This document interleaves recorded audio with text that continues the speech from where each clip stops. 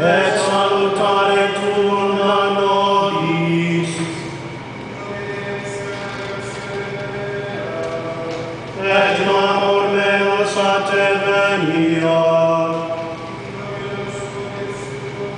Et tum